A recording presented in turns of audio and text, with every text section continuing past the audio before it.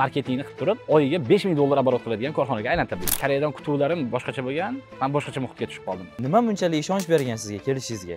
Mana shu kursga to'lov qilaman deganda hamma o'rtoqlarim qarshilik qildi uch kun ichida toshkentdagi eng yirik kompaniyalardan biriga yigirmata odamni orasidan bitta mani tanlab olishdi. Davay qilaylik qilaylik deb instagramlarga manimcha o'n ikkita video qilib berdim o'shandan keyin daromadlar bori ming dollarga kamida o'sdida va buni orqasida uxlamagan kunlarim bor. Zamon o'zgardi. Endi haligi mutaxassislar chiqishni boshladi. Man bergan pulimga mingdan ming roziman. Bu kurs qanaqadir eliksir emas shuni ichsangiz siz qanaqadir kuchli bo'lib ketadi xalqqa o'xshab qoladi endi. Bunaqa narsa emas. Boshqa davlatlar endi bizda xudo xohlasa qora mehnatchi demaydi. Qarang maqsad faqat pul bo'lsa rivojlanamiz.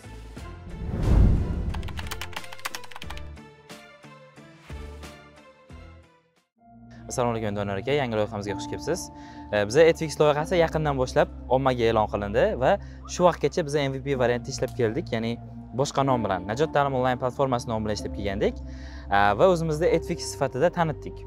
Shu vaqtgacha bizga o'qigan o'quvchilar va natijaga chiqqan o'quvchilarimiz bor edi va ularni endi ommaga tanitishni boshlayapmiz. Birinchi sonimiz mehmoni doniyor rahmonov bo'ladilar.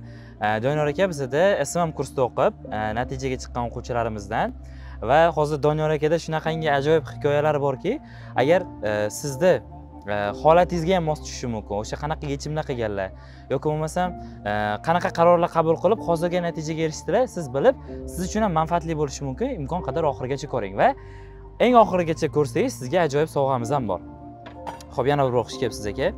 O'zi e, boshlanishidan boshlasak ya'ni e, qayerdansiz o'zi e, qayerlarda o'qib chiqdingiz smga o'zi qanday kelib qoldingiz shularni gapirib bersangiz biza komanda bilan maroq bilan tinglardik hozir.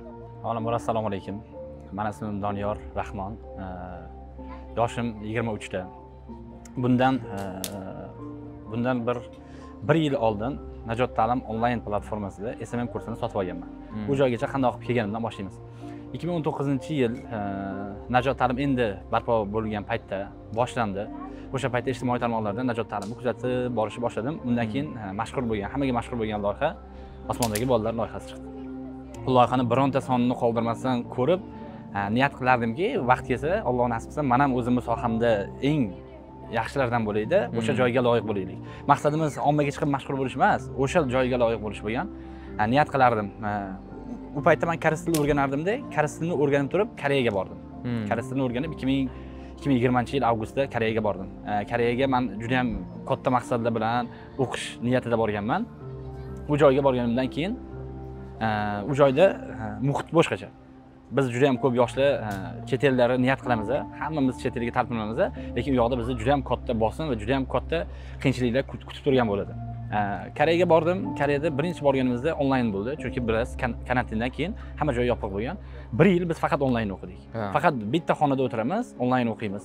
Shu paytda manda nima desam bo'ladi? Koreyadan kutuvlarim boshqacha bo'lgan man boshqacha muhitga tushib qoldim. Ya'ni qanaqa bo'lgan kutuvingiz koreyadan koreyadan kutuvim boraman. Qanaqadir kattagina haligilar bor universitetlar bor man boraman. Haligi talabalar bor koreyslar bor inglizlar bor hamma bilan biz bitta haligida o'tiramizda juda boshqacha muhit bo'ladi deb o'ylaganman lekin o'tga borganimdan keyin uyda o'tiribman. Bitta haligi zoomda bir ellik kishi o'tiramiz ja unchalik qiziq bo'lmadi to'g'risi. Hmm. o'sha paytda keyin manda bo'ldiki atrofimdagi masalan to'rt yuzta bola bo'lgan bo'lsak masalan to'rt yuzta universitetimiz bo'ylab bola bo'lsa o'zbek ishoning uch yuz uch yuz elliktasi ishlaydida tushunasizmi o'qishga borgan bolalar ko'proq ishlashadi o'qish faqat bahona. Ha o'qishmaydimi o'qishadimi? O'qish ham ketadimi? o'qishda ha o'qish ketadi. O'qishga ketish ko'proq fokus ishda bo'ladi ha. Bizda ham xuddi shunaqa narsa keyin atrof muhit qanaqa bo'lsa siz ham xuddi shunaqa bo'lib qolasiz. Manda ham xuddi shunaqa narsa bo'ldi. Man ham endi ishlayman ishlayman lekin haligi topgan pulimni faqat tadbirkorlikka sarflayman. Shunaqa niyat bo'ldi ishimda. Ishlashni boshladik. Oyiga ikki ming dollar ikki yarim ming dollargacha pul topardik. U pullarni topdim va biznesga sarfladim. Hozir o'zimizni viloyatda ishlab chiqarish qilganmiz shu boshidan boshlab qildik qildik. Ikki yil o'tdi keyin hayotimda maqsad qolmadi. Mazmun yo'q. Pul topasiz. Hmm. ketadi pul topasiz sarflaysiz pul topasiz. O'zimni izlashni boshladim bundan bir yil oldin. Keyin youtubeda birinchi marta siz abduvosk ustoz va temurbek adhamov birinchi najot ta'lim onlayn platformasini taqdimotini qildinglar. Hmm. boshidan oxirigacha qoldirmasdan ko'rganman. Hamma takliflar bilan birga edi o'sha kuni shunday uyga bordim ishdan pulim bor to'plab qo'ygan shuni oldim. Mana shuni mana shu kursga to'lov qilaman deganda hamma o'rtoqlarim qarshilik qilgan. Kvartirada haligida o'tiramiz hammasi yo'q. Bunaqa kurslarni ko'pini ko'rganmiz yarmigacha Hmm. o'qib tashlab qo'yganmiz. Man shunaqa qiziqdimda ikki yarim soatlik suhbat manga xuddi yigirma besh daqiqadek o'tib ketdi. Man hamma suhbatlaringni oxirigacha anaqa qildim. Kim hozir yozilsa bonuslari bor edi. Juda yam qattiq qiziqdimda. Allohga tavakkal. Yozildim kursni menga berishdi. E, kursimiz inshaalloh mana shu kundan boshlanadi deyishdi. O'sha kunni kutyapman boshlandi. O'zimga kompyuter sotib oldim. Manga общий kurs kursi narxi va kompyuter bitta Hmm. kompyuter bilan ming dollarga tushdi o'sha vaqtda. Hmm. qarang endi. Man ming dollarga u kursni sotib oldim o'qishni boshladim. O'qiyapman o'qiyapman.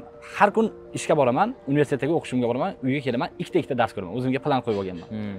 qanaqa charchashimdan qat'iy nazar man ikkita ikkita dars ko'raman. Shu shu rutinda aylandi. Olti oyda man kursni hammasini o'qib tugatdim.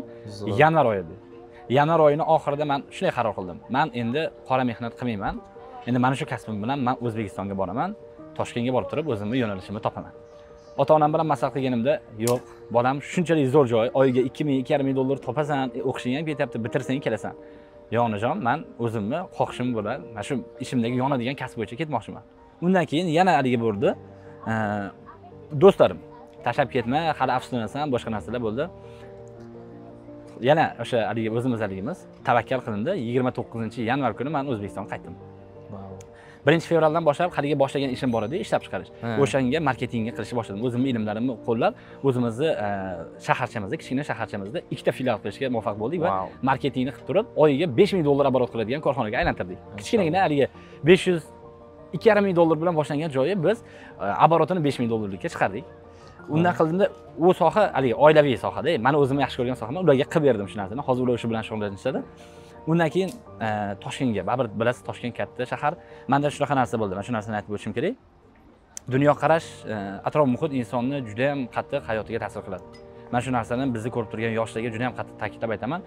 Atrofingizda yuradigan e, beshta do'stingizni oling. Bir yil bir yil kamida bir yildan beri birga yuradigan do'stlaringizni oling. Ular o'rtacha ilmini o'rtacha daromadini o'rtacha yurish turishini hisoblang. Siz ham shuni shu bilan bir xil bo'lasiz. Undan o'tib ketolmaysiz manda ham xuddi shunaqa narsa bo'lgan. Koreyadan bir kunda tashlab kelishimni sababi uch yuz ellikta bola faqat ishlaydi. Maqsadi yo'q Hmm. hayotdan tushunasizmi? U pulni jo'natadi uydagilari boshqa narsalarga ishlatib oladi. Na ilm na ta'lim ertaga kelib nima kasb qilishini bilmaydi. Hmm. tushunasizmi? Universitetni diplomi просто diplom u bilan kelib ishlolmaydi. Shunaqa narsa bo'ldi. Man qaytib keldim yanvar kuni. Onamga aytdim ona siz menga ishoning. Ko'p vaqt o'tmaydi. Man o'zimni sohamni topaman. Endi xavotir ol- olishadi ota onam biz senga ishonamiz o'g'lim. Duo qilishdi man aprel e, ikki oy u yoqda bo'lgan bo'lsam o'zimizni korxonani rivojlantirgan bo'lsam birinchi aprel kuni toshkentga keldim. Ishonasizmi? Uch kun ichida toshkentdagi eng yirik kompaniyalardan biriga e, yigirmata odamni orasidan bitta mani tanlab olishdi. Xo'p. HR suhbatidan o'tdik. Uch boshli uch bosqichli suhbat bo'ldi. Undan o'tdik. E, korxonaga bordim. Birinchi kuni SMM menejer bo'lib ishga kirdim. SMM menejer bo'lib bir haftada o'zimni loyihalarimni o'zimni g'oyalarimni tanishtirgandan keyin ular menga loyiha menejeri bo'lishni taklif qilishdi. Loyiha menejeri bo'lib turib bizda uchta loyihamiz bor. Eh, sariyog' ishlab chiqaramiz eh, margan ishlab chiqaramiz eh, va salfetkalar ishlab chiqaradigan korxonada. Shunaqa haligi bo'ldik. Alloh fazli bilan. U yoqda ishladim ishladim ishladim uch oy. Juda ko'p insonlarda mana bunaqa savol bor. E, o'zi marketingda tajriba qancha bo'lishi kerak? Hmm. bir xil insonlar bor bir yil bitta joyda ishlaydi. Bir xil insonlar bor mana shu bir yil ichida yigirmata joyda ishlaydi. Man yigirmata joyda ishlaydigan insonni tajribali deb bilaman. U har xil sohalarga kirgan har xil xatolar qilib ko'rgan u inson eng zo'ri. Hmm. manda uchta loyihada xato qildim. Bundan oldin o'zim o'zimizni viloyatda yurganda e, yaqinlarimni bizneslar bor. Hammasiga qo'llab berganman bitta akamiz servislar bor. Davay qilaylik qilaylik deb instagramlariga manimcha o'n ikkita video qilib berdim. O'shandan keyin daromadlari bor ming dollarga kamida o'sdida o'zi aytyapti man deyapti mana shu videodan kuniga beshta oltita odam qidirib keladi deydi. Instagramlarini servislari bor rivojlantirib berdim bo'ldi. Hozir o'sha bilan haligi qilishyapti juda yam yoqdi toshkentga keldim uchta loyihada ishladim va yaqinda mana bitta joyga suhbatga taklif qilishdi. U joyga bordim просто suhbatga bordimda komanda bor ekan komandaga trening o'tib berdim mana marketingda mana bunaqa mana bunaqa ishlar qilsanglar bo'ladi buni qilsanglar korxona riv- rivojlandi yoqdagi rahbar mani ko'rib yaxshi ko'rib qolib mani undan keyin chaqirdida suhbatdan keyin. Iltimos bizni korxonada marketolog bo'lib ishlashingizni so'raymiz dedida. Allohi fazli bilan. Keyin man ham "Ha, mancha bunga loyiq emasman desam sizni mana shu turishingiz bizga yoqdi bundan keyin o'zimiz o'qitamiz.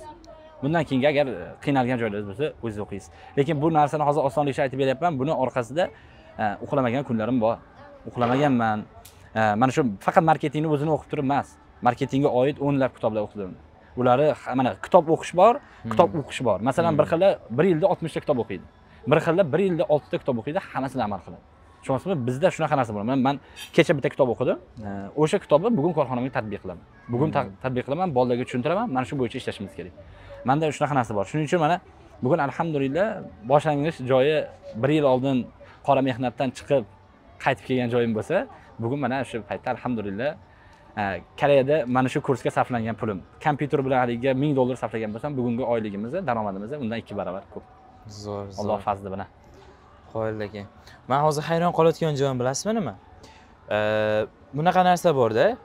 O'zbekistonni ichida ham e, bitta qaysidir ishda ishlab turgan bo'lsak Mhm.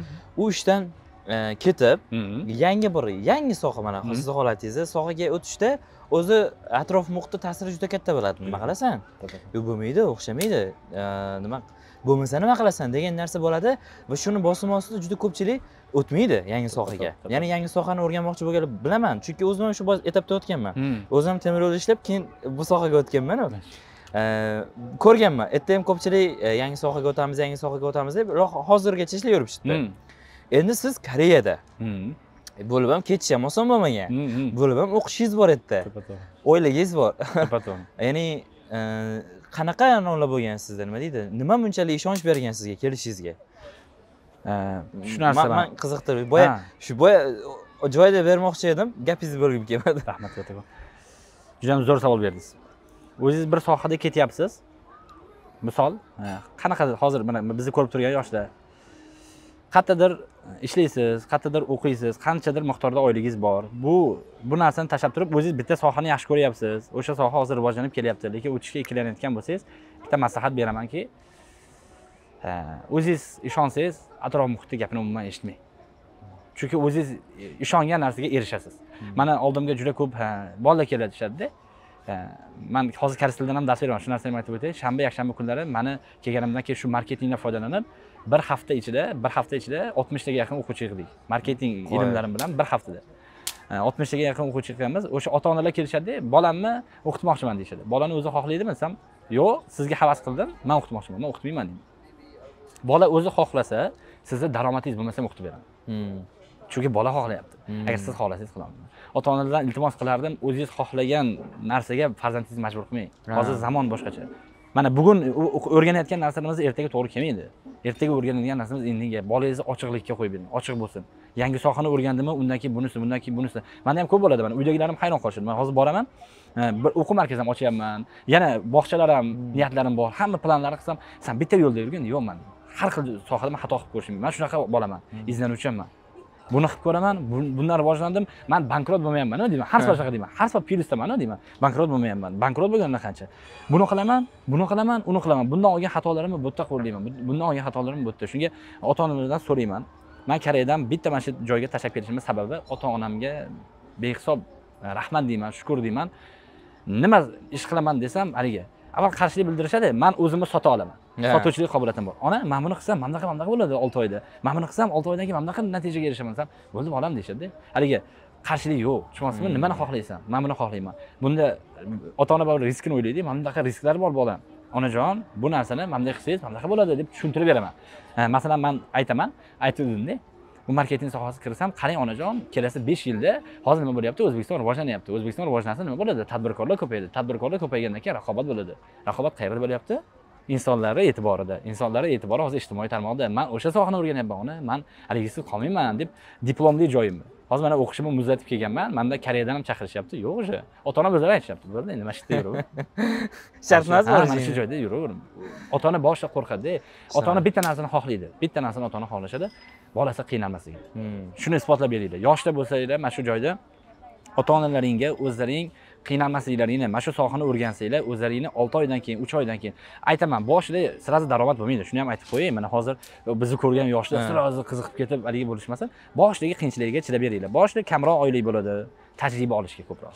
Tajriba olib insonlar bilan tanishib networking qilib turib hozir man aytamanda shuni kontaktimni olsangiz man toshkentga kelganimga uch oy bo'lsa kamida uch yuzta nomer borda man hozir bitta telefon qilsam masalan besh ming dollar qarz beradigan insonlarim bor. Tushunyapsizmi bitta telefon qilsam masalan man qanaqadir joylarga chiqa olaman? Uch oyda bu tushunasizmi mana shu narsa muhim kontakt muhim ko'proq. Man faqat yoshlarga shunaqa deyman e, muomalani chiroyli qiling E, ja haligi soha bo'yicha ilmingiz zo'r bo'lmas.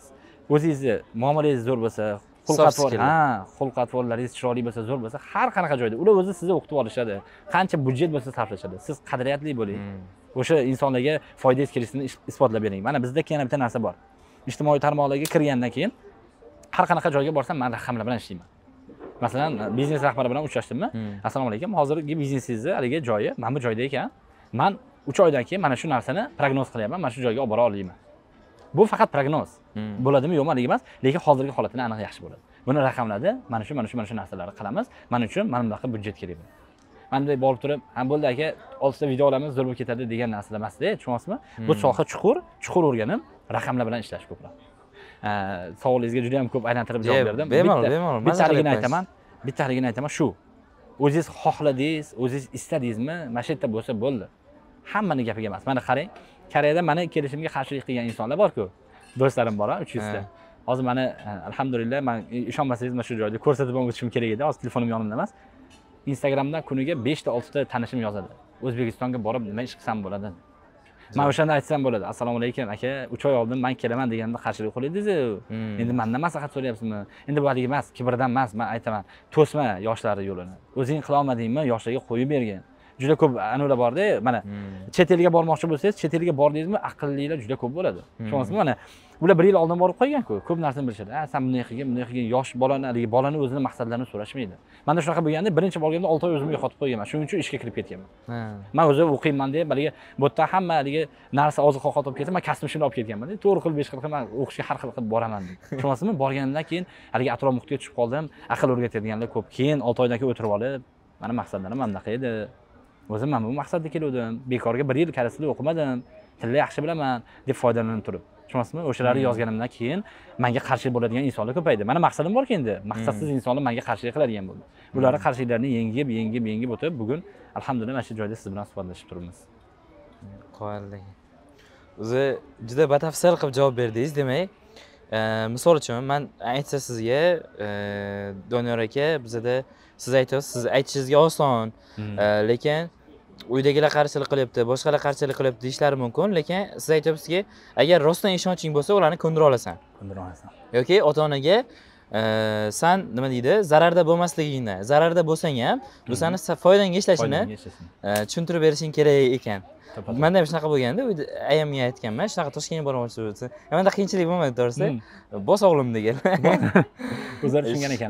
Osonroq bo'lganmanda. Demak ota onani shunaqa ishontirish etapi bo'ladi. Ya'ni e, siz ishontirolmayapsizmi demak o'zingiz ham ishonmaysiz uncha Hmm. o'zingizda ishonch yo'qmi? O'zingizdagi ishonchni mana shu e, boyagi maqsadlaringizni hozir doniyor aka qilib chiqqanda aniqlashtirib olib e, nima deydi? Yo'lingizda nimalar qilmoqchisiz? Mana shu yo'lingiz boyagi e, siz kelgansiz bu- bo'lgani Mhm. bir buni qilaman keyin unaqa ish topaman. Albatta. Yo'lingizni aniqlashtirib o'tsangiz ishonch ham zo'r bo'ladi.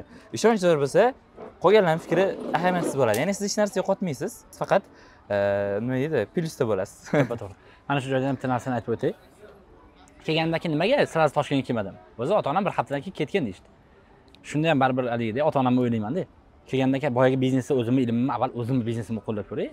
Biron kimni pulini aniq qilmay ha o'zingni o'zimni urib ko'rdim. Qo'llab ko'rdimda daromad ko'tarilgandan keyin endi man ota onamga aytyapman ota onam onajon dadajon man toshkentga boraman. Olti oy kamida mandan hech narsa kutmanglar. Hammasi ollohdan man harakat qilaman lekin mana shunaqa. Tushunyapsizmi kutuvlardan past qilib qo'yaman. Kelyapmanda endi xudoni fazli bilan bir oydan keyin e, uch kundan keyin telefon qilaman man ishga kirdim. Hmm. bir oydan keyin uyga sovg'a salom olib boryapman o'sha paytda bayramlar bo'luvdi o'zbekistonda bizda hayitlar borku. Korxonamiz tomonidan katta katta sovg'alar borsa hayronda mana kecha kechagi yangi xabardan keyin mana shu oydagi yangi xabarimdan keyin yana ham xursandman. Ha demak haligi ularda ham ishonch bo'ldi. Ha endi mana jiyanlarim boshqalar hozir mana shu joyda yana bitta ma'lumot uchun keladida. Hadraf filialiga bundan ikki kun oldin ikki ikkita do'stim bitta ukam man sababli najot ta'limni offlayn kursiga yozilishdi e qoyil. Zo'r. O'zim borib birinchi darslariga o'tirib man mana shu joyda bitirdim. Inshaalloh bular ham shunaqa inson bo'lishadi mandan ham zo'r bo'lishadi deb haligi qilib keldim. Juda ko'p yoshlar so'rashadi man qarayman e, agar e, bir xil insonlar bor bitta joyda o'tirib ishlashni yaxshi ko'radi. Siz dasturchilikni qilib ko'ring deymanda Ular- o'tirib ishlay oladi. Bitta bir xil insonlar bor haligi kommunikatsiyasi yaxshi Hmm. marketingga kirib ko'ring deyman man maslahat beraman. Bittasi bor zo'r o'ylaydi. Mana bu deydi ko'k bo'lsa zo'r bo'ladi mana bu yashil bo'lsa zo'r bo'ladi. Dizaynerga kiring. Deydi tushunyapsizmi o'zi bolani ko'rsangiz bilinadi kimligi. Hmm. masalan instagramda kimdirlardir ko'radida ular. Endi hozir qo'shtirnoq ichida ham aytib o'tishim kerak. Hmm. balki olib tashlashlar bilmayman. Sizni besh oyda boyitib tashlayman. Mana bu kursimizga yozilib yoziling. Misol sizga haligilarni o'rgataman yangi soha chiqdiyu nima edi ismi trading. Mana tradingni aytib o'tishim kerak. Mana bunday qilib tashlayman o'zimga jenter oldim mana oldim hoy hech narsa oson bo'lmaydi. Hmm. osonlikka targ'ib qilyaptimi сразу shubhaga oling. Hmm. shunday shubhaga olib nimaga? Man unaqa insonlarni in- ijtimoiy tarmoqlarda ko'ramanda hayotda ko'rsangiz boshqacha. Ko'chada bunday uchratib qo'ysak boshqacha ijtimoiy tarmoqda boshqacha. Qayerdandir kimnidir moshasini olib man muvaffaqiyatga erishdim deb aslida nimaga bo'pti muvaffaqiyatga erishgan bo'lsang zo'r omadingni bersin. Nimaga chiqib maqtanyapsan. Просто muvaffaqiyat yo'lingni ochib ber bo'ldi. San moshinang bilan maqtanyapsan sanda ilm yo'q san moshinangni maqtaysan bolalarni shunga qiziqtirasan moshinaga sanga emas. Haligi giftda bu ham tushunyapsizmi giftda odamlar haligi insonlarga qiziqmaydi o'ttizta moshinaga qiziqadi bo'ldi. Bu yoqda kimdir подписка bo'lgan qiziq emas keyin отмена qilib tashlaydi. Hmm. shunga giveaway qiladiganlarga ham shunaqa deyman. Qilmanglar rosa qilmanglar bizga ham ko'pchilik yozishadida ya'ni e, o'zlari qaysi sohani tanlamagan bo'ladi qaysida tezroq bo'ladi deb so'rashadi ya'ni man ham voice chatlarda boshqanida uchrashib qolganimizda gaplashsaman. Ya'ni tezroq bu nisbiy tushuncha to'g'risi. To'g'ri. ya'ni agar san qiziqsang tezroq qilishing mumkin. Mhm. agar qiziqmagan sohangga kirib qolsang u sekin naоборот sekin bo'lib ketishi mumkin. Umumiy shu borada fikringiz qanaqa? Umumiy tezroq natijaga erishish borasida. Yana bitta misol. Tezroq degan haligingiz nisbiy deganingiz juda to'g'ri. Mana shu oy boshida meni yangi ishxonamga marketologman. Hr man bilan suhbat qilyaptida savol beryapti siz deyaptilar. Qanday qilib debdi olti oyda marketolog bo'lyapsiz deb sizningcha marketolog qanchada marketolog bo'lish kerak desam "Ha, kamida bir yil deyapti. Nimaga asosan bir yil deyapsiz? Jim turibdilarda. Man aytyapman bir xil marketologlar bor kasdev bor to'g'rimi bizda? Ha. haligi chuqur chuqur joylarimiz bor o'shalari deyapman bir yilda qila oladi deyapman. Man uch oyda kasdev svot tahlili ana shu mana hozir anida aytyapman biznesni ichidan tahlil qilish bor hamma jarayoniga qiziqarli qiziqqon bo'lganmanda. Ma- masalan smm menejermanmi marketologni yonida yuraman aka man bu yerga mana siz bilan chiqay mana bu insonga man bilan siz mana siz bilan suhbat qilay. Hr ishlab tursa hr yonida o'tirib uni ishlarini kuzatib tushunyapsizmi hrga man savol beryapmanda endi sizga savol bersam hr qanchada? Hr bo'la oladi desam bir yil deyapti. Qanday qilib bir yil deyapman? Mani do'stim olti oyda hozir masalan bitta kor- katta korxonani hr menejeri o'ziga bog'liq. Hmm. shunga mana tez natijaga erishaman deb birovga savol bermang o'zingiz mana bitta kursni olyapsiz to'rt oylik kurs. O'zim mana shuni o'qiyman qo'shimcha uyga borib nima qilaman masalan darsga bordingiz qo'shimcha vazifa berildi. Vazifani ikki soatda qilib qo'ydingiz. Qolgan payt nima qilasiz aylanib yursangiz bular sizni olib chiqib muvaffaqiyatga erishtirib qo'yishadimi? Mana bizni o'quvchimiz deb yo'q. U ikki soatdan tashqari o'zingiz yana youtubedan qidiring qo'shimcha ilm izlaning savollarni yozing ertasiga o'qituvchiga bering. Assalomu alaykum man mana bu narsalarni ham o'rganib kelgandim o'qituvchi bunday ko'radida man bolani ishga olib qolinglar deydi. Uchinchi oyda man bolani deydi. O'zimizni komandaga qo'shib olmasanglar bo'lmaydi buni deydi. Bunaqa imkoniyatni qo'ydim. Najot qancha bo'lgan shunaqa yoshda? Sizlarda ishga qolgan to'g'rimi? Shunaqa shunaqa najot ta'lim har yakshanba kunlari haligi tashkil qildinglar. Э, ochiq darslar. Man Hmm. birinchi kuni bordimda temur akam turibdilar Hmm. assalomu alaykum temur aka yaxshimisiz? Ha man mana shunaqa koreyadan keldim shunaqa shunaqa desam e to'xtang mana shu narsangizni mana shu ota onalarga bitta aytib bering Hmm. dedilar xursand bo'lib chiqib aytib berdim. Mana shu chiqdimda assalomu alaykum mani hech kim bu yoqqa mehmon qilib chaqirmagan. O'zim xohishim bilan keldimu. Farzandingiz agar hozir mana shu uch oy vaqti bo'lsa ham dedim pulni to'rt millioningizni masalan besh million to'rt million qancha kurs bilmayman dedim. To'lang dedim. Hmm. o'zingiz xursand bo'lib yurasiz dedim mana shu yerda mana man hozir mana shu joyda loyiha haligi darslar haqida ham aytib o'tay. Darslar qanaqa bo'ladi darsni o'qib tugatdim. Bozorda yangi soha chiqib qoldi zapusк endi youtubedan qidiraman boshqa joydan qidiraman haligi ma'lumotlar bor chala chala. Shunday programmaga kirsam yangi bo'lim qo'shilib qolgandek zapusк bo'yicha tushuncha. Shunday kirsam oltita dars qanchadir vaqtdan kirsam shunaqa zo'r yoritib berganda man endi zapusк bo'yicha ham tushuncham bor. Yana qiynalib qolaman yana ko'chaga chiqaman yana nimadirlar bilmayman chat gpt bo'yicha hozir mana korxonamda butun klinika bo'yicha man xudo xohlasa o'zbekistonda alloh nasib qilsa e, butun o'zbekistonga e, biz e, o'zimizni sohamiz bo'yicha chat gpt bilan tashxis qo'yish analizini ham qo'shamiz Hmm. faqat vrachlar emas vrachcha o'n to'qqiz yil yigirma yillik tajribalari bor u orqadan endi Hmm. kelasi zamondan ham chat gptni ichiga butun ma'lumotlar o'qitildimi biz o'sha bo'yicha hozir izlanyapmiz o'sha bo'yicha korxonaga Hmm. yangilik qilamiz kelajakda biz siz borsangiz masalan sizga avval doktor o'zini kelishidan kelib chiqib kelajakdan ham kelib chiqib turib mana shunaqa tashxis deb qo'yishadi Qo'y. inshaalloh shunga mana chatgpt nima qayerdan o'rgandim kiraman u yoq bu yoqda yo'q tushunyapsizmi? Shunday kiraman yana ustoz yozib qo'yganman va shu yerda aytaman "Ey, rahmat deyman pulimga roziman deymanda. Mana tanishlarim bilishadi kursim bekilib qoladi bir bir ochilmaydi yuragim siqilib ketadi mana hozir korxonamda bitta narsani bilmayman o'sha darsimga kiraman bilaman qayerda o'sha narsa bor. O'sha joyi shunday shunday tahlil qilib turib bo'ldi. Ishim yana yurishib ketaveradi to'xtab qolish yo'q. Tushunyapsizmi? Masalan biznes egasi mandan biror narsa so'radi bilmadimmi? Bo'ldi deyman. Xudo xohlasa ertaga mana shu narsani qilib beraman deyman. Ertaga kelib shuni dars ko'raman ertalabgacha tayyor olib boraman juda xursandman hamma narsa bor demoqchiman. Bu Hmm. kursda hozir man reklama qilish uchun emas chin qalbimdan man bergan pulimga mingdan ming roziman. Alloh rozi bo'lsin sizlardan. Shuncha yoshlarga shuncha insonlarni hayotini o'zgartirishga najot ta'lim mm, harakat qilishadi. Man ham o'zimni hozir har har bitta korxonamda borsam maqsad qo'yamizda korxonada hozirgi korxonamizda hali unaqa narsalar yo'q. Chunki bular oldin marketolog tushunchasi boshqacha bo'lgan. Man kelib raqamlarni ko'rsatib bergandan keyin ha deb tushunishdi. Hozir biz oldimizga bitta missiya qo'yamiz.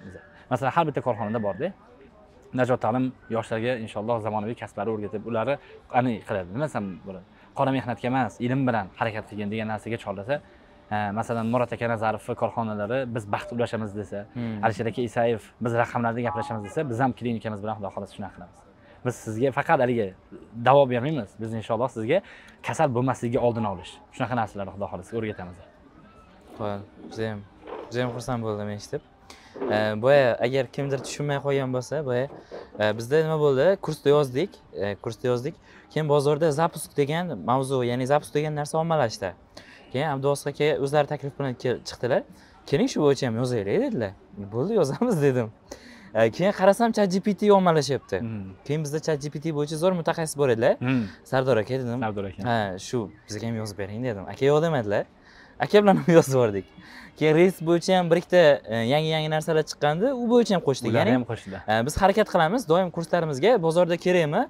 E, keling qo'sha olamizmi? Ha, qo'sha olamiz qo'shaylik unda ya'ni e, bu narx buni narxini to'lashmagan e, narxini to'lashsa keyin qilamiz degan narsa bo'lmaydi. Biz e, ko'proq qiymat berishga harakat qilamiz va buni to'g'risi esimda ham yo'q edi. Eslatib o'tganingiz uchun rahmat kattakon hozir shu joyda aytyapmanda man o'zim xijolat qilib qolamanda shuncha narsa o'qidim shuncha ishimni topib oldim. Yana qo'shib qo'yishibdi o'qiymikin yo'qmikin? Tushunasizmi haligi pul oqlaydimi yo'qmi? Shu yerda mana har safar borku bitta joyga borsangiz отдавай много и сразу получи постепенно и помаленьку deydida ustozlarim bitta joyga borsangiz sekin sekin bering и tez bering deydi bitta joyga borsangiz tez bering sekin oling tushunasizmi bizda aksinchasi bitta korxonaga boradi boshqa biror narsa buyuradi shuni qilib qo'yadi bo'ldi o'taveradi yo'q ber hamma narsa ber yangiliklarni olib kel boshqalarni qil ko'p ber ular seni yaxshi ko'rib sekin beradi tushunasizmi Mm. hamma joyga borganda mana shu metodni qo'llayman bo'ldi уже ish yurishi bo'ladi tushunasizmi mana borgandan keyin nima qilib beray ekan emas nimalar qilsam bo'ladi shu joyga nima qilsa qo'sh- qo'sha olaman. Mandan mana bu narsani talab qilishyapti xolos man yana nima talab nima qo'shib beraman? Mana najot ta'limda shunaqa borda Hmm. bitta bizdan smm so'rashdimi? Ha mobilografini qo'shib beraylik. Hmm. kopiraytingni ham qo'shib bering chat gptni ham qo'shib bering nima chiqdi yana? Zapuskga qo'shib bering bolaga nima bo'lsa qo'shib bering undan keyin endi mana bunaqa narsani to'g'risi reklama qilmasdan ham iloji yo'q. O'zimiz reklama qilib yuboramiz hozir gaplaringizdan bir narsani e, ahamiyat beryapmanda E, demak faqatgina kursda o'zi yetmaydi shuni ham aytishimiz kerak. Hmm. to'g'risi ya'ni e, kurs zo'r ya'ni bu kurs qanaqadir eliksir emas ni ichsangiz siz qanaqadir kuchli bo'lib ketadigan xalqqa o'xshab qoladi endi. Unaqa narsa emas. Hozir doniyor akani ko'ryapsizlar ya'ni odamga ham bog'liq bu narsa. Ya'ni sizni ichingizda ham nimadir yonib turishi kerak yonib turishi kerak ya'ni qayt- qaytmas bo'lishingiz kerak. E, ya'ni o'rganib yangilik faqat kursda o'zini emas nimadir yetmayaptimi? U kursda yo'qmi? O'rganib. Yoki bo'lmasam odamlar bilan kommunikatsiya yoki bo'lmasam o'zini sotib bilish dedilar. Mana shunaqa soft tomonlaringizni zo'r qilsangiz e, kurs sizga ko'proq foyda beradi. E, mana kursni bitirib ishlayotgan o'quvchilarimiz e, kam emas lekin ularni natijalari har xil natijalarni har xilligi bu o'sha aynan kursda o'qigan odamni o'zini soft skilllariga chunki man hozir e, ko'p ishga olish bilan bog'liq ishlarni ham qilamanda. Hmm. E, zo'r zo'r kadrlar bo'ladi soft tomonlarida muammo bo'ladi. O'zi soft skill degan e, muammo o'zi o'tgan yildan boshlab kelib chiqdi ya'ni kadr hard skilllarni biladi. Ya'ni Hmm. misol uchun sohaga doir hamma ilmni Ha. biladi. Xuddi shunaqa mana bakal ishlab chiqarishni biladi ha? bakalni yasashni biladi. Bakalni zo'r qilib yasaydi. Lekin siz bilan gaplashib olmaydi yaxshi. Ya'ni bakalam zo'r deb ko'rsatib ha beraman bakalim zo'r. Mana man bitta yangi naqshlar qo'shdim. Hmm, yoki bo'lmasam e, shavkatjon aka mana bitta mana bu naqshni ishlatyapmizda lekin bozorda yoqmayapti bu narsa. Shuni almashtiraylik boshqacha naqsh qo'shaylik degan e, narsani ayta- aytadigan e, mutaxassislar kam. To'g'ri endi ho'p unaqa mutaxassis bo'lish uchun nima qilish kerak endi? Mana juda zo'r savol berdingiz. Hrimiz bundan oldingi korxonamizda hrimiz yigirmata odam orasidan mani tanlab oldilar endi man Hmm. o'zi umidim past. Man o'zi endi kelgan bo'lsam tekinga ishlashga roziman olti oy. Man aytdimku uydagilarga aytib kelganman. Uydagilar man ta'minlaman deyishgan. Keldim ular menga сразу paloncha oylik beraman deyaptilar. Man hayron bo'ldim. Yigirmata odam bor. Ertasiga menga telefon bo'lyapti. Menga aytiladi sizga bir haftadan keyin javob boradi. O'zi hr bo'yicha shunaqa menga kechqurun javob yozyapti sразу siz ertaga ertalab Ketib qolmasin degan. mana shu joyga kel. Man hayron bo'ldim mayli. Men yana yigirmata bora- boradi desam boraman bitta o'zim. Qani qolganlar desam bitta o'zingiz bilan. Nimaga desam ularda bir yil boshqalik tajriba bor. Sizga bitta narsa aytay deyaptilar ha siz qanday qilib onlayn kursni tugatdingiz deyapti ko'pchilik odamlar onlayn kurs olsa tugatolmaydi deyapti sizni qat'iyatingiz borligini biz korxonadan shuni bildik bo'ldi deyapti boshqa boshqa narsangiz kerak emas tushunyapsizmi? Yaxshi anavi metrika. Ha tushunyapsizmi? Man shunga aytyapman mana yoshlar o'zi o'zingizga bog'liq. E, xohlasangiz garvardga borib o'qing xohlasangiz kembridjga borib o'qing xohlasangiz boshqa joylarga borib o'qing. Man sizga maslahat beraman o'zingiz o'qing. Tushunyapsizmi? Ulardan kutmang. Mana koreyaga borganimda shunaqa bo'lganda mani o'qituvchilar o'qitib qo'ydi deb kutib yurganmanda. E, chet elga bordingizmi haligi? Erkinlik o'zing qil. Hamma narsani o'zing qil. Ovqatni o'zing qil kiyimni o'zing yuv ishga o'zing bor ertalab o'zing tur. Mas'uliyatni o'rganganimizdan keyin shunaqa bo'lganda kursni ham o'zim tugatishim kerak. O'rtog'im tugatib bermaydi. O'rtoqlarim kelib kechqurun mana ishdan kelamiz to'qqizda misol yo sakkizda kelamiz aylanamiz. O'n birda kelaman deydi dars ko'rib o'tiraman. Qarang uxlagim keladi dars ko'raman yozaman. E, o'zingni qiynama nima qilasan deydi man o'zimga va'da berganman kuniga ikkitadan o'qiyman nima bo'lsa ham. Bir xil kunlar endi kamroq dars bo'ladi. Yozgan kishida chiroyli qilaman o'n besh minut bo'ladi. Maza qilib ko'raman. Charchagan kunim shunday kelsam o'ttiz besh minut bo'ladida mayli deyman. Tushunyapsizmi mayli deb man uchunku yozaman tahlil qilaman. Uyga vazifalari keyin o'sha joyda qilinglar. Hmm. ertaga qilib qo'yaman. Indinga qilib qo'yaman. Ketdi to'pladim to'pladim to'pladim uyga vazifa qoladi kurs chala qoladi tashxis. Ustoz shunday vazifa beradida man o'tiraman sirasi qilaman ustoz bilan bir xillarda ustoz bilan teng teng dars ko'rmayman. Qo'ydim aytyaptilar bo'ldi. O'sha joyga kiraman qo'llayman o'sha joyga kiraman qo'llayman bo'ldi. Bir xil chiqadi ustozlik bilan. Bir xil. Keyin tashlab qo'yaman uyga vazifani. Hammasini shunday. Mana shunga aytaman. Siz aytdingizmi? Yaxshi mutaxassis man hali yaxshi mutaxassisman demayman. Hmm. bozorda hali qiladigan ishlarimiz juda ko'p. Yangi korxonaga bordim kecha bir million so'mlik kitob sotib oldik. Man komandaga o'smaydigan komanda bilan ishlamayman. Hech qachon. Hozir qo'limizda e, qo'limizda demayman. Bizni jamoada olti nafar sm menejer bor. Biz butun o'zbekiston bo'ylab ishlaymiz. E, inshaalloh allohim fazl qilsa biz e, endi o'zbekistonda bo'lmaymiz. E, biz chet elga chiqamiz. Ingliz tilida xudo xohlasa ijtimoiy tarmoqlari bizni shifokorlari shaxsiy brendini rivojlantiramiz. Ingliz tilida unga ingliz tilini biladigan kopirayter yoki chat gptni foydalanamiz. Hmm. biz ularni amerikadagi insonlarni bizni mutaxassisligimizni ko'rsatamiz. Boshqa davlatlar endi bizni xudo xohlasa qora mehnatchi demaydi. Bizni xudo xohlasa bu davlat yangi paydo bo'lgan. Biz yangi o'zbekiston yoshlarimiz his qilish kerak o'zbekistonni yaxshi ko'rish kerak kamchiliklarimiz boshqamiz bor buni hech kim tuzatib bermaydi. Hmm. to'g'risini aytaman biron kim kelib tuzatib berganda o'sha odamni kutardik to'g'risi. O'zimiz hammamiz. Man o'zimni sohamni tuzatay o'zim yaxshi bo'lay yolg'on narsalarni olib chiqib olib ijtimoiy tarmoqda targ'ib qilmay borini bor yo'g'ini yo'q. Akalar mana bu qiyin mana bu narsa oson mana buni bunday qilinglar qiyin bilan oson yo'l turganda qiyinini tanlanglar hamma oson yo'lni tanlaydi. Misol hamma qora mehnat qilishni boshqani tanlaganda qiyinini tanlab qo'ydimi tushunyapsizmi qiyin yo'lni kam inson tanlaydi bu yoqda raqobat kam. Shuning uchun bularga maslahat beraman. O akalar qiyinini tanlanglar buni kam odam tanlaydi. Bu yerda ozgincha harakatingiz bularda ancha o'tib ketasiz. E, maslahat berardim yoshlarga. Agar o'zingizni sohangizni yetuk mutaxassisi bo'lmoqchi bo'lsangiz iloyim bizga ham nasib qilsin e, o'zimni metodlarim. Maqsad qo'ying. Hmm. maqsad qo'ying. E, bitta joyda qotib qolmang. Mana bu sohani o'rgandingizmi? Mana o'rgandingizmi? Bo'ldi. O'zingiz topolmadingizmi olti oy bo'ldimi? Yana almashtirib ko'ring. Yana almashtirib ko'ring. Yangi anavlar o'rganing odamlar to'rt yil universitetda yurishibdi. Man hisoblab berdimda bitta o'rtog'imga. Universitetni bitirdilar diplom oldilar. Hmm. diplomlari bor. Manga qizil diplom oldilar. Hozir ishlari yo'q. Uyda o'tiribdilar. Man koreyani tashlab kelganman. To'rt oylik kurs o'qiganman. Alhamdulillah alloh fazli bilan. Mana besh yillik shartnomalik ishim bor. Mana Hmm. korxona hozir shunaqa shart bilan olgan tushunyapsizmi besh yil biz bilan boshqa loyihalarni olsang ham bizni loyihani tashlamaysan degan narsa. Hmm. daromad yilma yil oyma oy kpilar hammasi o'sib boradi Hmm. ketmaysan degan narsa bilan. Tushunyapsizmi u bolaga ishi yo'q. Unda diplom bor. Hisoblab ko'rsangiz to'rt yillik vaqtida e, yuz man hisoblaganimda yuz million bir yuz o'n million pul sarflagan. Oddiy talaba yashash hayotida. Endi boshqalar boshqacha yashaydi tushunyapsizmi Hmm. bir yuz o'n million qayerda o'n million besh million to'rt millionlik kurs qayerda shuning uchun o'zingiz xohlang o'zingiz xohlang maqsadingiz aniq bo'lsin. Maqsadni qo'ygandan keyin o'zida o'zi erishilmaydi. Maqsadni Hmm. hamma qo'yadi. Hamma dekabrda maqsad qo'yadi o'zi. U- dekabrga borganda yana yangilaydi. Dekabrda maqsad qo'ydingizmi o'zingiz bilan o'zingiz qo'ying. Qanaqadir joylarda o'tib olib qanaqadir yutib qo'yib olib maqsad qo'ymang. Hmm. o'zingiz o'tirib onamni mana shu niyatlarini amalga oshirish uchun nima qilay? Otamni mana shuni qilish uchun nima qilay? Jamiyatga foydam tegishi uchun nima qilay? Shavkat aka mana shu narsalarni qilib qilib turib yana bitta narsa xayolimga keldida. Mhm. hozir telegramda kanal ochganman o'zim uchun. O'zimni Mhm. fikrlarimni yozib yuraman o'sha joyda yozamanda. Katta daromad katta mas'uliyat orqasidan keladi. Katta mas'uliyat katta harakat orqasidan keladi. Katta harakat qilish uchun duh kerak Hmm. duh bo'lish uchun harakat qilish kerak odam. Harakat bo'lishi uchun ilm kerak. Ilmsiz qilingan harakat nolga teng deymanda. Tushunyapsizmi birinchida ilm. Ilmingiz bo'lsa haligingiz bo'ladi sal harakatingiz bo'ladi tushunyapsizmi harakat bo'lgandan keyin duh paydo bo'ladi. Duhni qilasiz harakat qilasiz xatoni o'rganasiz. Keyin katta mas'uliyatlarni bemalol mana bordingiz mana korxonamizda misol оборотni misol qiling. Hmm. yuz ming ikki yuz ming dollar siz обычный o'tiribsizda yosh bolasiz обычный o'tiribsiz. Bo'ldi mana shu ikki yuz mingga oshirib beramiz. Mana shu olti oy vaqt ichida mana bu mana bu ishlarni qilamiz. Siz tadbirkor hayron qalaydi Hmm. u qirq besh yoshda bu narsani qilyapti? Siz o'qiyotgan kitoblaringiz maqsadlaringiz anig'i haligi ilmni aniq qo'yib olgansiz ilmni olgansizda maqsad aniqda sizda hamisha baland bo'ladi. Shuning uchun mana shu narsani oxirgi postim shu bo'ldida. Duh baland bo'lsin. Aytmoqchiman mas'uliyatliyiz mas'uliyat katta olishga qo'rqmang. Qachon Hmm. qo'rqmaysiz? Ilmingiz bo'lsa. Nima sohani o'rgansiz ham?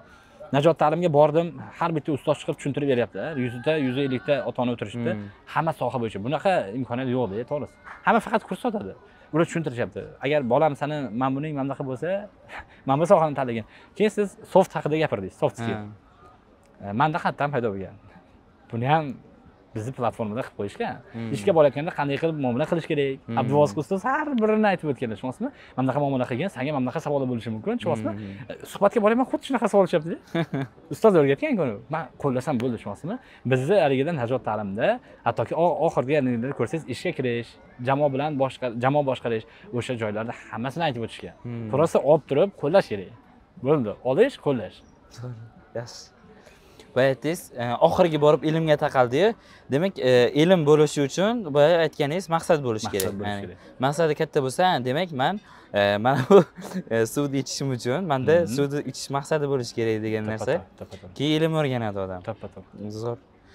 E, umumiy juda ham zo'r fikrlar bo'ldi. Manimcha jamoa ham maza qildi. Hozirgi umumiy kelajak rejalaringiz qanaqa endi buyog'iga hozir sizga aytdim bu loyihadan qarang man bu loyihaga kelganimga uch oy bo'ldi. Hmm. nimaga man bu loyihani tashladim bunga o'tdim. Hozir man bu yerdagi insonlar bilan rahbarlar bilan aka ukam qanaqa bo'ladi? Shunaqaman ketmaysan deyishyaptida. Iltimos haligi ketmasam bo'lmaydi.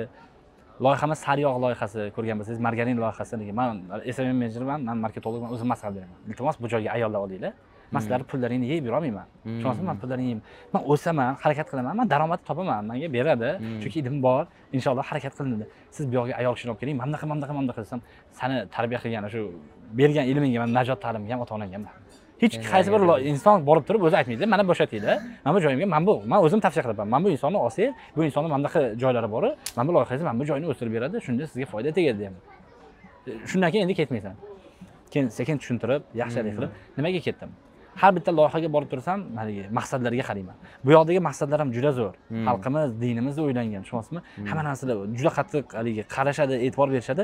Bu joyda haligi ko'proq ayollar loyihasi. Man bir yilda masalan ellik qadam qo'ya olsam ayol kishi yuz qadam qo'ya oladi. Bu loyiha ayollarniki ayollar bilan ayollar kommunikatsiyasi yaxshi bo'ladi Hmm. yaxshi sotadi tushunyapsizmi bu yoqqa o'shani tavsiya qildim bu loyihamizda bu loyihamizda insonlar bilan kasali bor insonlar bilan. Tushunyapsizmi Hmm. man o'sha joyga bordim ularni qadriyatlari insonlarni davolash. Man sababchi bo'laman tushunyapsizmi mana daromadga daromadni mana yoshlarga aytaman pulga qiziqinglar. Mana bitta narsa pulga qiziqinglar pul yaxshi ko'ringlar. Chunki pul hayotlaringni sekin sekin yaxshilab mana bugun mana bu narsada yurgan bo'lsangiz boshqa narsada yurasiz. Mana bu ilmga pulingiz yetayotgan bo'lsa buni qilasiz. Mana bu uyda yashayotgan bo'lsangiz buni qilib beradi. Bu ham zo'r bunga qiziqinglar maqsadingiz pul. Qarang maqsad faqat pul bo'lsa rivojlanolmaysiz Hmm. chunki maqsadingiz pul boshliq kam pul beraman desa bo'ldi siz harakat qilmasdan qo'yasiz. Maqsadingiz ilm bo'lsa pul ikkinchisi. Tushunyapsizmi maqsad ilm bo'lgandan keyin ilm oshaversa boshliq bu ketib qolmasin ilm ilm oshib ketyapti deb pul ko'tarilaveradi tushunyapsizmi Hmm. bu loyihaga keldimda bu loyihada ham xuddi shunaqa. Insonlarga qanday qilib manfaat keltira olaman? Man qilayotgan mana shu marketing sohasi hozir bular besh yuzta insonni davolayotgan bo'lsa man bir yarim mingta insonni davolashim kerak. Ko'ryapsizku man bu joyda imkoniyat katta manga berilayotgan imkoniyatlar katta bu mani loyiham endi haligi ayollarniki erkaklarniki degan- degan joy yo'q. Kasallik hammada bor to'g'rimi? Hmm. hamma katta kichikda bu bizni kasalligimiz bor. E, ma'lumot uchun o'sha joyga aytib o'tsam bizni klinikamizda ko'z klinikasi. O'sha joyda biz insonlarni ko'zini hech qanaqa tiq tekizmasdan insonlarga ani yetmasdan davolashni haligi qilamiz. Bizni mutaxassislar o'n to'qqiz yil yigirma yillab e, amerikada hindistonda o'qib kelgan insonlar qadriyatli ham juda kuchli inson kuchli bo'lgan insonlar. Bir xil joylarga borsangiz kasal bo'lmasangiz ham qayergadir jo'natishni harakatini qilishadida o'zlarini manfaatlari uchun. Bizda unaqa emas siz keldingizmi? Aniq tashxis. Kasal bo'lmasangiz kasal emassiz deymiz. Tushunyapsizmi? Bizda qanaqadir narsamizdan foydalansak ham to'liq qilsin yo'q bunaqa narsa yo'q. Biz chaqiramiz sizni tekshiramiz sog'lig'ingiz zo'rmi bo'ldi. Sog'lig'ingizda muammo bo'lsa ogohlantirib turamiz aka imkoniyatingiz bo'lsa davolaning imkoniyatingiz Hmm. bo'lmasa mana bunaqa imkoniyatingiz borligi e, hozir kasalingizni oldini olib qo'yadi. Agar olmasangiz ikki yildan keyin mana bu minus uchga qarab yurib qolsa unda qiyin. Tushunyapsizmi? Mana shu narsalarni aytib bergandan keyin ha bu mani loyiham man bu bilan nafaqat o'zbekistonga xudo xohlasa butun dunyoga manfaat keltira olaman chunki bizda ham zo'r zo'r doktorlar borda. Faqat ommaga chiqishmaydi. Man aytamanda man sizni ommaga olib chiqaman deb shifokorimizga aytsam "Ya, qanaqa bo'lar ekan deydi. Zo'r bo'ladi chunki e, hech qanaqa tayini yo'q insonlar chiqib yuribdi. Siz chiqmasangiz bo'lmaydi deyman. Siz chiqmasangiz qanday qilib? Siz chiqsangiz sizni ko'rib ular chiqadilar hamma chiqadi. Haligilar sekin e, oldinlari ko'rgan bo'lsangiz ikki ming o'n to'qqiz o'n sakkiz o'n besh Hmm. Artistlar juda top bo'lishardi. Hmm. hamma yoshligidan artist bo'laman deb havas qiladi hozir hech kim man yoshlarni hammasini ko'rsam dasturlashda yurgan dizaynerda Hmm. yurgan boshqa "Yo, artist bo'ladigan inson yo'qmi deymanda tushunyapsizmi zamon o'zgardi. Endi haligi mutaxassislar chiqishni boshladi.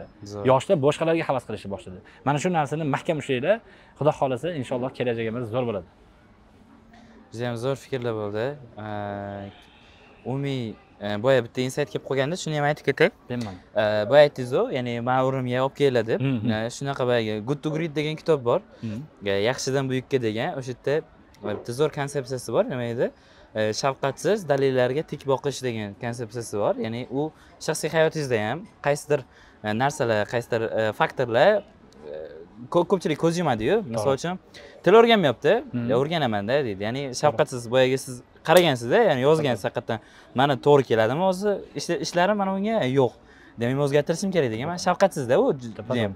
qara hamma ham qarolmaydi. To'g'ri. Bu ishxonangizdagi ham xuddi shunaqa. Mana shunaqa shafqatsiz dalillarga tik qarashni o'rganish kerak. Umumiy e, suhbat lekin zo'r bo'ldi. Menga juda yam yoqdi yoshlarimizga manfaatli bo'lsin.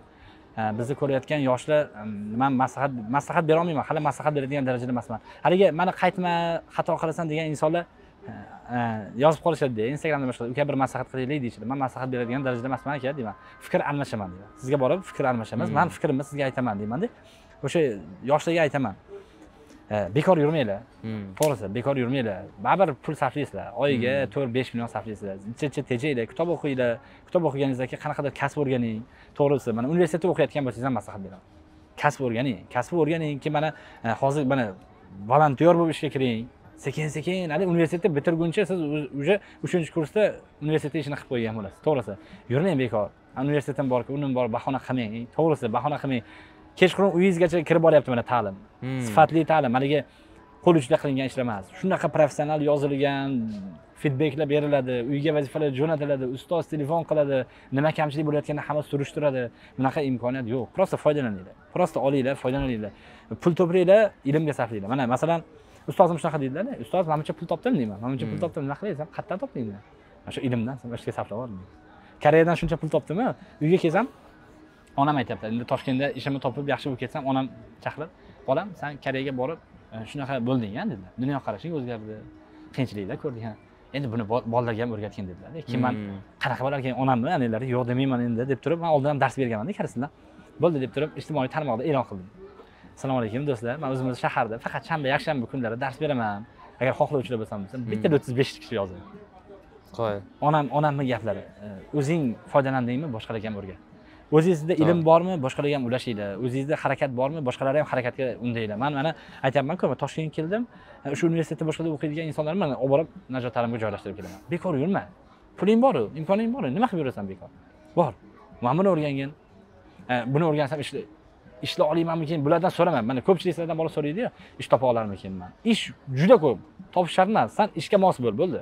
San o'qib mutaxassis bo'l o'zi olib ketishadi seni. Bu ukam san yur bizga juda kerak. Hozir bozorda xuddi shunaqa. Man aytyapman mana hozir bu loyihaga kirdim bitta do'stim bor ular katta e, mebel sexlari bor ular tortyapti. Hmm. man endi mana bu loyihada endi sakrab yurolmayman dedi. Avval bularga natija ko'rsataman vaqtingiz bo'lsa kechqurun bo'lsa ham qilaylik ishni deyapti shunga man haligi o'zimcha zo'rman demayman. Sizlar ham harakat qilinglar yaxshi ko'ringlar qilayotgan ishni bo'ldi. Bitta dizaynerimiz borlar dizaynerimiz aytyaptiki e, ma'lum joyda qotib qolganlarda borsam haligi qotib qolganlar.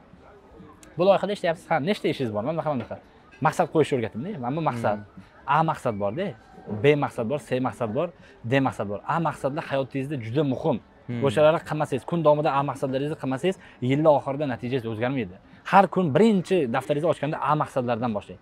B c dlar haligi qilmasangiz ham ja hayotingizga jon unchalik ta'sir qiladigan emas alari qilish kerak tushunyapsizmi san hayotingni asiga mana bu maqsadlaringni qo'yib olgin desam haligi o'tib bergan narsalar hammasini yozib olgandek qilib manga kecha aytyapti mana kecha mashinada.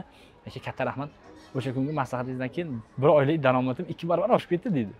Maqsad boshqacha bo'lganku maqsadini aniq qo'yib olgandan keyin o'zi keladi haligi o'zi narsalar buni izlab keladi. Oldin bu yurganda просто maqsad yo'q boramizda biron joyga deb endi borish joyi aniq. Bu yoqqa bu yoqqa borgandan keyin bu yoqqa bu yoqqa borgandan keyin bu yoqqa. Shunga yoshlarga najot ta'limga keldingizmi undan keyin qayerga borishingizni mo'ljallab oling. Man buni bitirib man bunday qilsam man bu joyga boraman o'zim taklif qilaman. Man ish qidirmayman aytamanda ish qidirmay ish taklif qilaman. Hmm. boyagi mebelchi o'rtog'im bilan bunday o'tirib qolaman choyxonada keyin bunaqa gaplar gaplar emas tadbirkorligingga. Mana bundan mana bunday ishlar qilsang bo'lmaydimi mana bularni qilsang bo'lmaydimi "E, o'rtoq birga ishlamasak bo'lmaydi tushunyapsizmi? Man ish qidirmayman ish taklif qilaman. Hmm. o'zi marketologlar smm menejerlar xuddi shunaqa bo'lishi kerak deb o'ylayman. Aka assalomu alaykum ha sizda kafengiz bor ekan ha ko'ryapman hozir oyiga to'rt ming dollar topyapsiz. Mana bu yerda beshta raqobatdoshingiz bor ekan mana buncha topyapti. Bularda mana bunaqa narsa boru siz ham mana shu narsada shuni qo'llab oling bo'ldi. Manga hech qanaqa pulingiz kerak emas qiling просто desam ikkitasini qilib ko'rsa уже daromad o'zgardimi bo'ldi. Haligi aytdimku yaqinlarimni servislari bor qilib berdim deb. Har hafta telefon qiladi dedi. Hmm. bugun keldingmi kechqurun bo'lsam bir to'rtta video olib ber deb. Tushunyapsizmi to'rtta video olib ber zo'r bo'lyapti. Oldin man oldin aytib bergan aka qilinglar shu ishlarni desam qilmagan bitta ko'rsatib berdik bo'ldi. Tadbirkorga shunday borib boq necha pul berasiz qancha berasiz? Nima qilasiz emas man nima beraman assalomu alaykum aka. Qanaqa loyihangiz bor ha? Nima muammolar bor ha? Man mana bu narsani yechib beraman. Shundan necha pul berasiz siz? Keyin ha bu muammolar men shuncha mancha beraman deydida. Hech narsani bilmaydigan inson kim beradi? Xuddi mushuk boqib olganda uni silab yurmaydiyu to'g'ri. Mutaxassis bo'lish uchun shu taklif bera olish o'zini sota olish. Eng muhim anilardan hozir bugungi kunda kommunikatsiya o'sha o'zini sota olish. Qayerda bo'lsa hamda sotuvchi bo'lish kerak. Sotuv bo'yicha ham xudo xohlasa bu narsa qiyin emas mana hozir ki- kitob tavsiya qiling boshqa qiling. Hmm. kitob tavsiya qilinmaydi o'zingiz eng ki- kichkina kitoblardan oling. Man aytaman qalin kitoblar olishadi haligi qilishadi yarmigacha o'qishadi zo'r o'qishadi keyin to'xtab qoladi. Kichkina kitob o'qing maqsadli kitob o'qing. Bitta mana shu joyda kitob tavsiya qilaman endi boshlamoqchi bo'lganligi samaradorlik- samaradorlikni yigirma bitta usuli. Hmm. samaradorlikni yigirma bir usuli ha juda zo'r kitob. Birinchi maqsadingiz bo'lmasa o'shani o'qing. Bo'ldi sekin sekin xudo xohlasa yog'iga ketadi. Aka umumiy juda yam zo'r suhbat bo'ldi. Yaxshi insaytlar bo'ldi va yaxshi maslahatlar bo'ldi va yaxshi keyslar bo'ldi. Ya'ni aynan sizni holatingizda bo'lib turgan inson manimcha birga bir qo'llasa Hmm. agar rostdan hammasini boricha qo'llasa soft skilllar maqsadlar boshqasiga qo'llasa o'ylaymanki ya'ni boyagi maqsadlarni ham to'g'ri qo'yib olsa e, sizni darajangizga erishishi mumkin. Agar ja endi olti oyda bo'lmasa ham. Bizda ancha oshadi. Ha shunaqa ya'ni harakat qilsa bo'ladi demak ishlaydigan uslublar bor. Inshaalloh. E, juda yam xursand bo'ldim. E, to'g'risi menga yigitlar bunaqa ko'p ma'lumot berishmaganda qisqaroq ma'lumotlarni berishganda maza qilib eshitdim. Ho'p e, shu o'rinda boya boshida aytib o'tgandek sovg'a yutib olishingiz mumkin deb bu qanaqa sovg'a? Siz edfix platformasidagi istalgan kursda yutib olishingiz mumkin. Sharti qanaqa? Sharti mana shu videoni kommentiga suhbat davomida olgan eng yaxshi insaytingizni yozasiz istalgan chegara yo'q to'g'risi ya'ni faqat bitta komment bo'lishi kerak. E, komment uzunligiga cheklov yo'q. Bitta insaytingizni yozing shunaqa yozingki e, haqiqatdan biz ko'rsatuvni to'liq ko'rganingizga ishonch hosil qilishimiz kerak. Hmm. va e, kommentni oxirida sizga bog'lanishimiz uchun kontakt ma'lumotlaringizni qoldiring va eng yaxshi komment egasiga bog'lanamiz va platformamizdagi istalgan kursni sovg'a qilamiz. Man ham bitta sovg'a bersam bo'ladimi? Ha bo'ladi Mana shu joyga boshi zo'r bo'ladi agar xudo xohlasa shu videoni oxirigacha ko'rsangiz e, mani hayotimdan nimadir sizniki bilan bog'liq bo'lsa o'sha joyi erinmasdan yozing. Man hammasini o'qib chiqaman. Birga xudo xohlasa yo e, завтрак qilamiz obed qilamiz ужин qilamiz. Man sizga bir varaqli marketing reja kitobini o'qishni va qanday qilib o'qishi qanaqa joylardan qo'llashni xudo xohlasa o'zim shaxsan o'rgatib berishga e, inshaalloh harakat qilaman. Zo'r. Rahmat aka kattakon rozilik bildirganingiz uchun kelganingiz uchun. Jonlaring sog' bo'lsin. Ilohim xalqimizga manfaatli bo'lsin kelajakda suhbatlarda ham qatnashish nasib qilsin. Ya'ni e, rejalaringizni maqsadlaringizni eshitdik. Balki yana uchrasharmiz. Donor aka sizga edfix platformasida kichkina sovg'amiz bor edi. Shuni qabul Kattakon rahmat. Arzimagan bo'lsada ilohim kattakon rahmat. E, shu joyda yana bitta narsa aytib o'taman. Qaranglar. Mhm. yaqinda bu platforma shakllandi. Man juda xursand bo'ldim. Bor taqdimotni ko'rib chiqdim. Yoshlar agar bilishmagan bo'lsa bu platformada hamma zamonaviy kasblarni onlayn o'rgatishadi. O'qinglar man mana shu kameraga qarab o'qinglar xudo xohlasa rozi bo'lasizlar. Qiziqsangiz o'sha sohaga qayerda o'qishni bilmayotgan bo'lsangiz mana shu platformadan o'qinglar. Chunki bu platformalar orqasida bir yillik hamma narsani qo'llab ko'rishdi keyin platforma qilishdi. Birdaniga platforma qilishmadi hamma xatolarni o'rganib hozir mukammal desak bo'ladi. Mukammal bir loyiha bo'ldi bu. O'zi gapirganingizdan keyin reklama qilib ketmoqchi edim hojat qolmadi. Bo'ldimi bo'ldi aka. Jonlaring sog' bo'lsin. Rahmat